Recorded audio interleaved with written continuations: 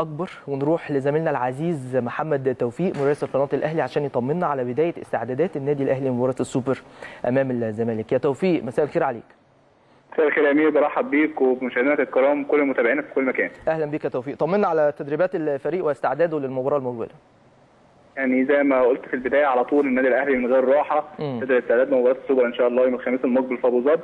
آه بعد الفوز بالأمس على المصري 3-0 آه التمرين ابتدى الساعة 3 آه كان أبرز حاجة في بداية المران إن كابتن محمود الخطيب دخل اللاعبين غرف الملابس واجتمع بيهم قبل الخروج للمران. قعد معاهم حوالي ربع ساعة بعد كده استقبلهم عند الخروج للمران وصافحهم جميعا.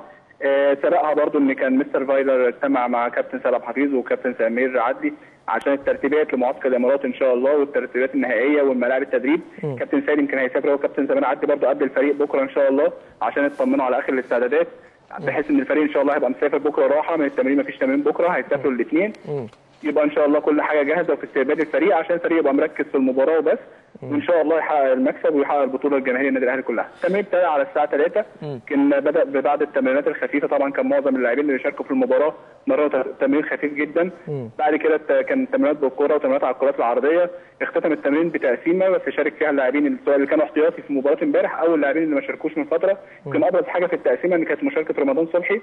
شارك في التقسيمة بشكل كامل. شارك بشكل طبيعي في التقسيمة.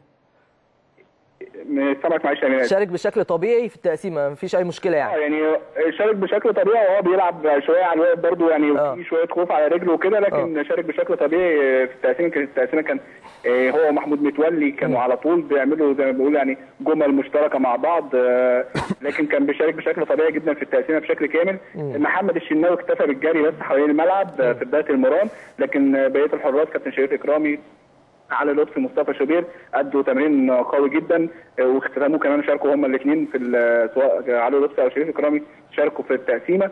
آه كابتن أحمد فتحي اكتفى بالمران في الجيم النهارده يمكن كان في بعض الإجهاد بعد مباراة امبارح لكن اكتفى بتمرينات الجيم بس وما شاركش في التمرين مع بقية الفريق. لكن آه الأمور طبيعية الاستعداد زي ما بنقول بدأ مباراة الزمالك مبكرا من غير راحة.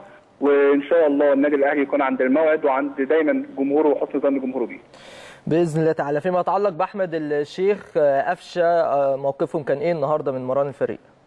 لا كانوا موجودين واتمرنوا بشكل طبيعي جدا. يمكن كابتن محمود الخطيب كان ليه حوار جانبي مع قفشة حتى قبل بداية المران وقف يتكلم معاه في الأول في بداية المران لكن شارك بشكل طبيعي جدا وكان موجود وشارك بشكل يعني طبيعي جدا في المران ما فيش أي مشاكل.